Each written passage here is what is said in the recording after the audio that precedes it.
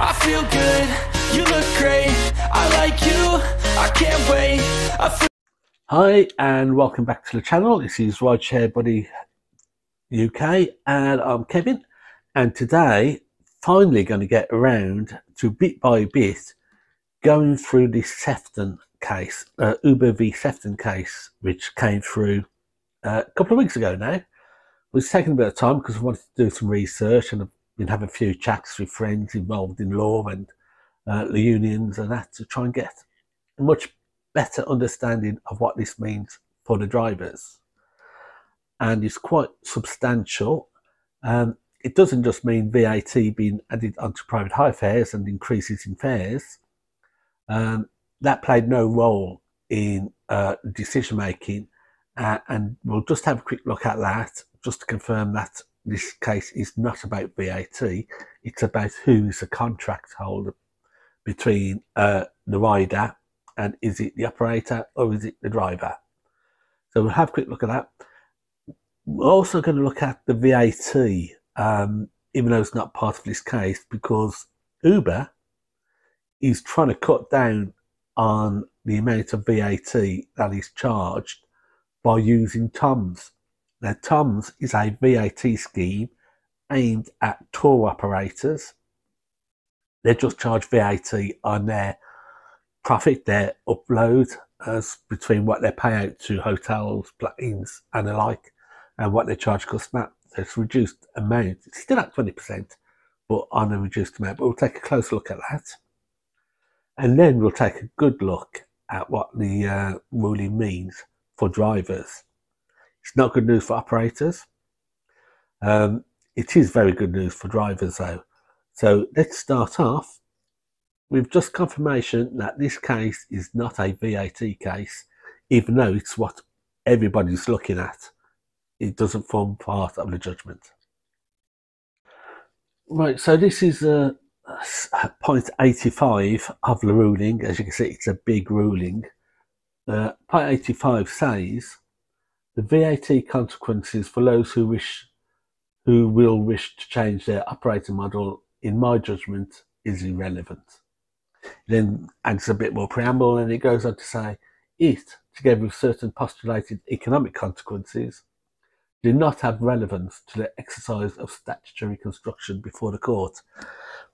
Now, uh, Sefton, Veezu, Delta, and all those opposing um, the proposals by Uber and uh, ADCU said that it would cost too much money.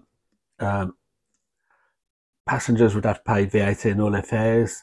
That could drive some uh, businesses out of business. It also means that workers' rights will come in and that will cost operators money and could uh, lead to large scale bankruptcies. The judge in the matter said that's irrelevant for this decision. This decision is about the contractual status, not the financial implications of that contractual statement. Uh, status. So that's it. This is not a VAT thing, but VAT is very much the one thing that everybody is looking at.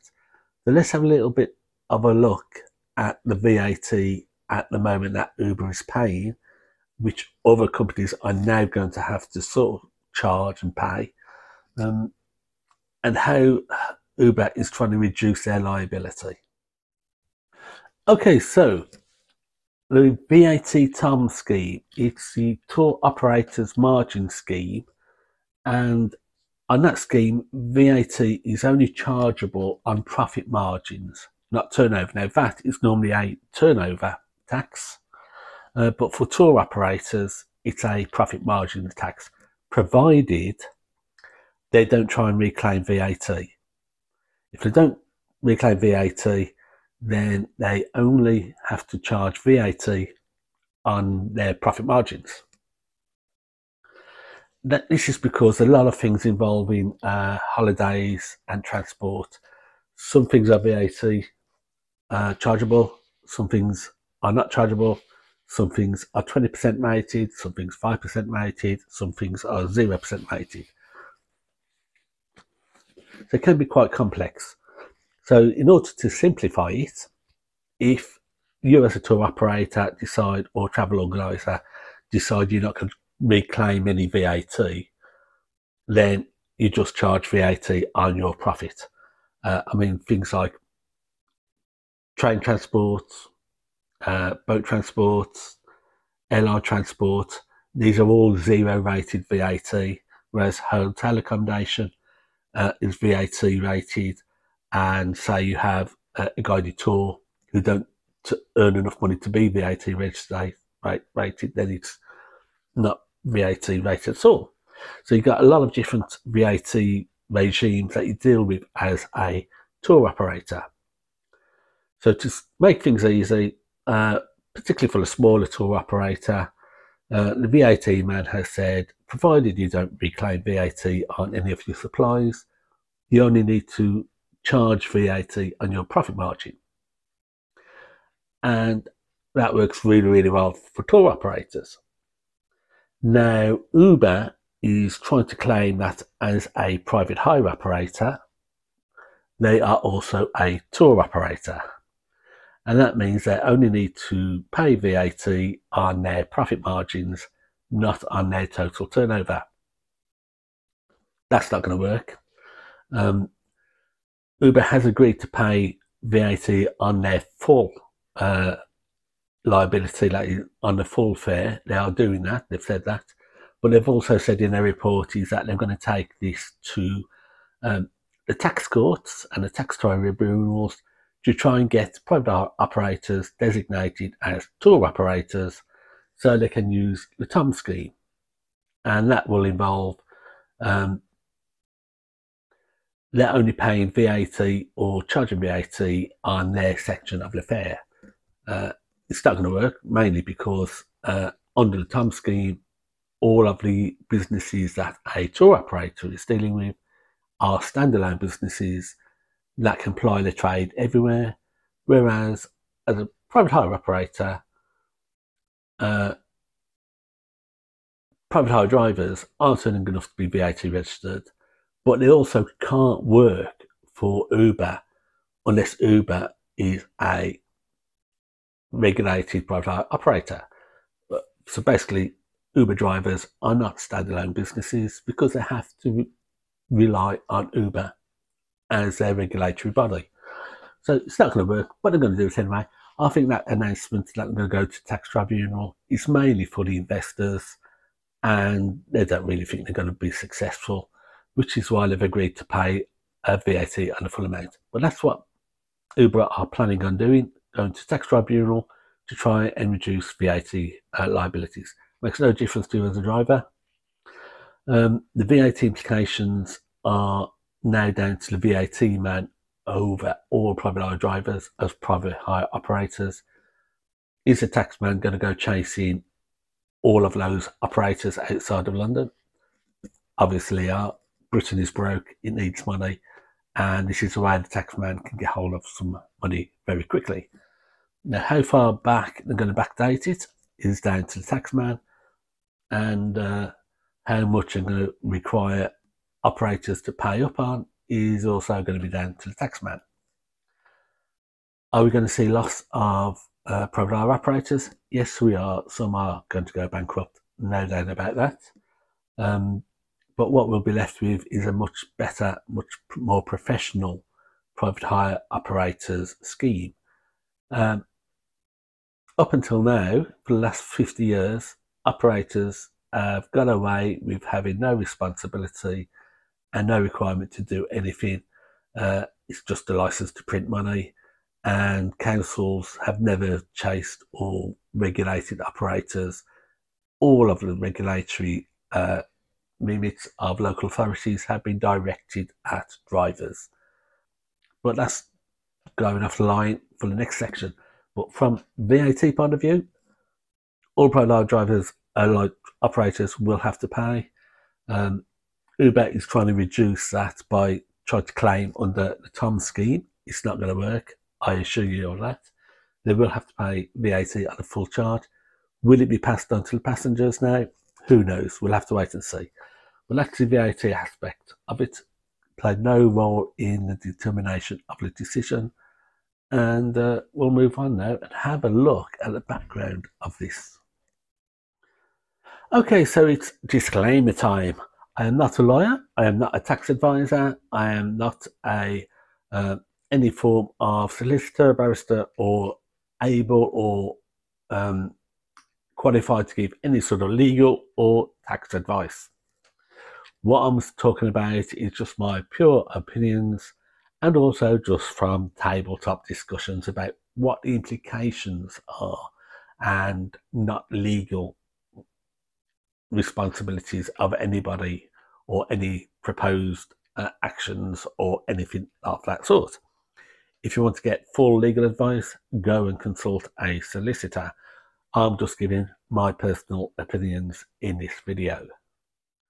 Okay, so let's take a look at what the situation was before 1976. Now, in 1976, the Local Government Miscellaneous Act was introduced, and this forms the basis of how we operate today.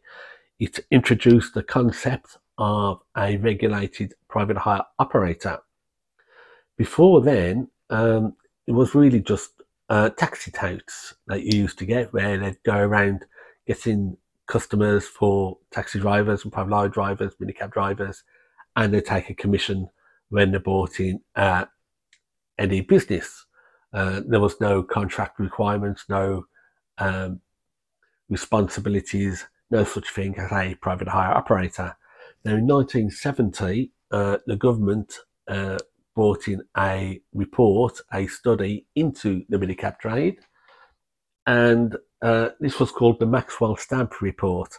Now, the judge in uh, this case referred to this on a number of occasions because it really was the basis on which the 1976 Act was put together and um, some of the issues that was tackled uh, in uh, the 1976 Act, which needed to be addressed in 1970 and earlier.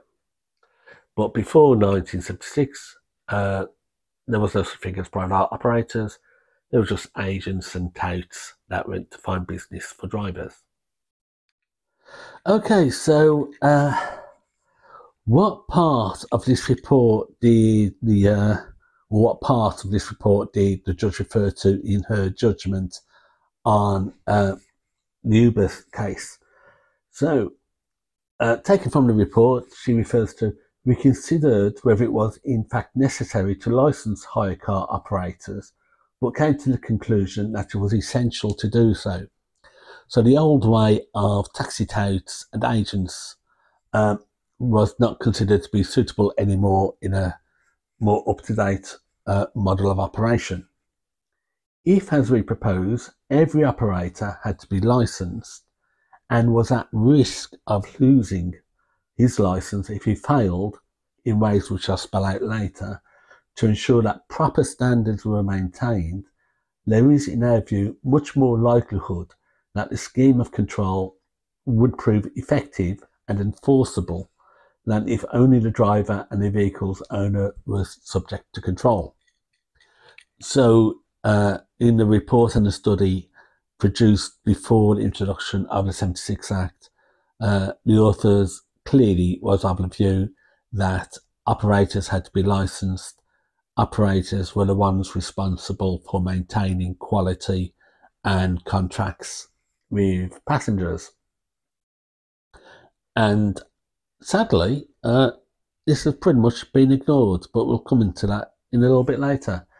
But let's go and have a look at another section that the um, judge referred to of this report the basis of which led to the 76 Act. Now, one of the things uh, before the Act was that the touts and the agencies used to pass around bookings willy nilly out to drivers, out to touts, and each collecting a little bit of commission as the booking goes. But the problem for the rider was that they never quite knew who was responsible for their booking. Um, and it was felt that this had to be addressed. And in the report, it says, but the operator who passes on a booking, you will no longer be able to do so without having to accept full responsibility for the standard of service provided. We therefore recommend that the scheme of control should include a provision to the effect that where an operator himself undertakes to arrange for a vehicle to be provided or um, by another operator, the hirer's contract is to be deemed with the original operator and the fare to be chargeable on his normal basis. So even before the Act was put together, the spirit of the Act uh, is based on this report and it says that the original contract is between the rider and the original operator. And it also gets stated in the 1976 Act that any contract is deemed to be between the hirer and the private hire, the licensed private hire operator. Um, something totally ignored uh, up to date by both operators and, sadly, licensing authorities of local councils.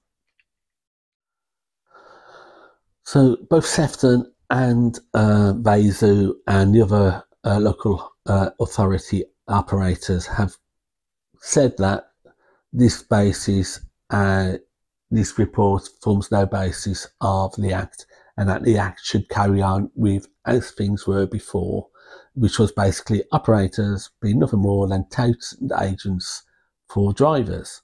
And as such, no responsibility should be put on the basis of operators. And we also we certainly see this in relation to activities by local authorities. Uh, clearly, this report and uh, the Act states that local authorities should be checking into the suitability and enforcing operations of standards of driving against operators, whereas all enforcement operations run by local authorities is against the drivers. Drivers every time, and operators are just left to get on with printing basically money. Um, but it's quite clear that that contract and the decision by the judge based on this and the act itself is the contract is between driver, so rider and operator. What are some of the main arguments that was presented by those who opposed uh, this contract uh, being between operator and rider? Well, the main opposition to this is seems to be financial.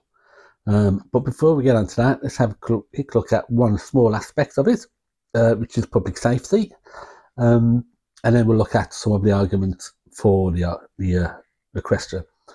So, one of the operators said that there would be no benefit in public safety if um, operators became principals between the uh, the operator and the rider. And they said that that's because they rely on local authorities to do the relevant checks and ensure that all the paperwork is correct, such as the vehicle standards, insurance, driver honesty, etc., etc. So, by making operators responsible uh, as a principle, would have no impact on or minimal impact on public safety. So, apart from that argument, um, all the other arguments was purely financial. Uh, the argument was made that the majority of people who use taxis tend to be in the lower incomes, which is true. Anybody who does it day to day know that it's the poorest in society who rely most heavily on uh, taxis. And we're talking there of old people and disabled people, uh, people with small kids, uh, people in deprived areas where bus services just don't exist anymore, people in rural areas who have no access to buses have to rely on taxis, and so the lowest income um, people will be hardest hit by this change because of VAT changes.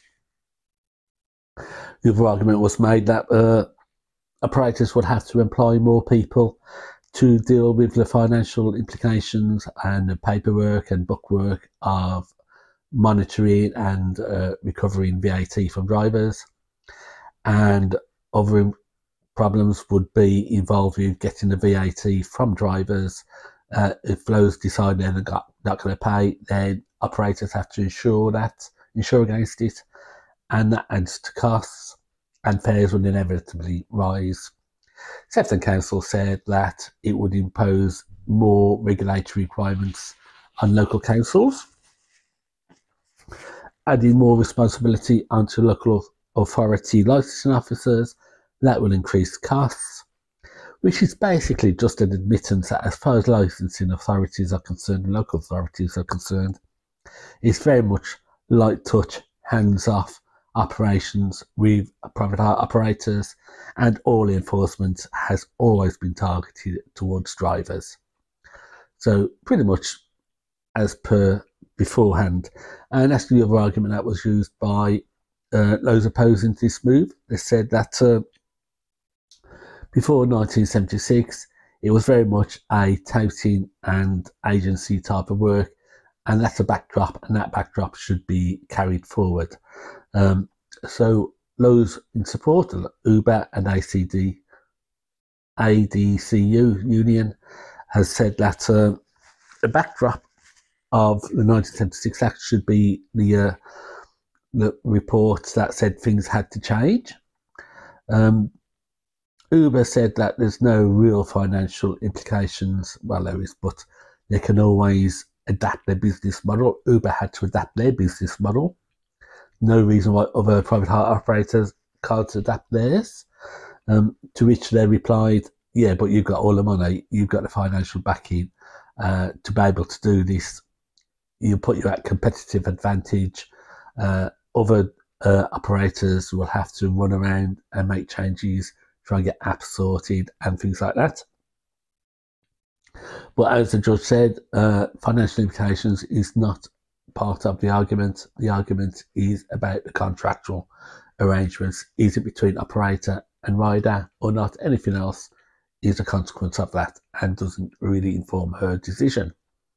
ACDU went further, or ADCU went further than Uber, and they said that this was very much a public protection policy, the 1976 Act, and as such, any readings should be uh, with uh, public uh, protection at its heart, and that means it needs to be a liability on private hire operators to take on responsibility of bookings, not the drivers who just don't have the resources to do that.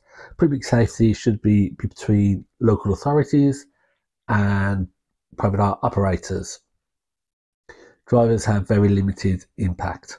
They also said that um, by requiring the contractor between driver and rider, drivers are taking on all the risks with none of the controls and none of the vetting and none of the ability to say, no, I'm not taking that risk. So, from that point of view, it's the operator who has the facilities and opportunities to undertake that risk.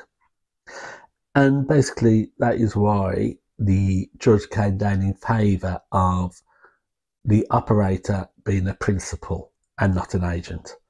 But let's just uh, play about with this decision and see what may happen as a result. Okay, so I'm just going to talk about as a private hire driver. I'm not going to be looking at the impacts for passengers or the operators. What sort of impacts is this going to happen as a driver uh, for a local company. Well, the first thing is, I think we're going to be seeing a lot of uh, companies go to the war, and a lot of companies are going to have to change their operating procedures. I also think that a lot of private hired drivers are soon to be classed as workers and not self employed. Well, self employed workers. They'll get protection for minimum wage, they'll get protection for sick pay, and they'll get protection for holiday pay, and they'll also get pension contributions from the operator. That's almost certainly going to happen. Hasn't happened yet because we needed this clarification, but now that clarification is in place, expect to see the legal action that is currently taking place in London against the likes of Addison Lee and uh, Bolt to start taking place against the big regional operators such as Delta and such as Veezu. So employment status is going to change over the next few years. Right, you've also got remember that uh, we now not have one contract between driver and uh, passenger. We now have two contracts. First contract is between the operator and the rider, and the second contract is between the driver and the operator. And that means the operator becomes responsible for their passengers. So let's uh, take one example of that. Um, last week I did a video about some, uh, a girl being sick in the car. Uh, I took some photographs, passed it up to Uber, and Uber recovered the costs and paid me. If I'd been with a local company and a cash company, then I would have had to basically try and get the money out of her there and then uh, because the operator doesn't care. They're not doing any vet, they have no responsibility, they have no obligations, and they'll just say and turn around, well, take some money out of them then. That is now over and done with. Uh, it is now the operator's responsibility to deal with the finances of any siding. So will operators now start to vet passengers on the line and start providing some protection for drivers? So let's move on with that argument a little bit more. So just having a, a quick discussion over a beer, as you do, about some of the implications of these. Um, the questions start to arise now is runners if a passenger runs out the car, which happens regular, anybody who does cash work will know that that's a regular occurrence. Who's responsible for repayment? As a principal contractor, you are now under contract with your operator, not with the rider. The operator is now responsible for collecting fares from the rider and ensure that you as the driver are paid. So, question is, are operators now going to have to start paying drivers for runners, as well as those who sold the seats when they're sick in the car? Let's move on even further. If you are attacked as a driver, who then becomes responsible for compensation payments? Do the operator who are now under contract to the hirer and are responsible for the hirer's actions, do they have to repay you and compensate you for any losses? Will the operator now have to start verifying and checking and doing some basic checks before they take bookings? And they're going to have to screen out high risk bookings from high risk areas because they have an obligation to you as a driver because as principal in the contract they are responsible for the activities of their riders. An interesting concept. Now of course as an uber driver you don't have to worry about that because all uber drivers is cashless paid through the app on the credit card bank account Uber has details and access to the accounts. By signing up to Uber, you're signing up to the conditions that if you sick in the car, mess up the car, then a payment will be taken to cover the recovered cost of that. In the same way, if it's a no-show, I have very few no-shows in uh, Uber, but when you do, after two minutes, you can cancel and you'll get a cancellation fee and Uber will take the cancellation fee off the customer. Uber deals with all the financial aspects. Now, if you're working for a cash company and you get a no-show, in the old style of contract between driver and passenger, you lose that time, you lose that money. If you get a winner, you lose that time, you lose that money. You get attacked. If you get people messing up the car so you can't work. It's down to you, or was down to you. So now it's down to the operating company to deal with that. So the question is, how much longer will local companies continue to do cash work? because if they haven't got access to a bank account to reclaim any cancellation fee or fare from runners, then they're going to have to fund it out of their own profit. So I think we're going to see a lot of local companies moving purely to cashless for their own protection. They're going to have, a, have to have in place policies and risk policies over picking up drunks or going into highly dangerous areas. Uh, they can't just bong it all onto the driver because the operator is now also responsible as it's a separate contract now between driver and operator. Um, yeah, I think overall this is a good decision. It's a good one for passengers. They know who they're contracting with, but it's also quite major for the driver. So I'd like to hear your thoughts. Do you think this is a good move for the driver? And are we going to see a big collapse in the numbers of local companies, but a big boost in the quality of local companies? Uh, and I think that's an important feature to think about. So until next time, stay safe. I know it's been a long one, but it's a, a major uh, decision here, uh, which is going to impact a lot of private hire drivers over the next year or two. So until next time, drive safe and make a profit.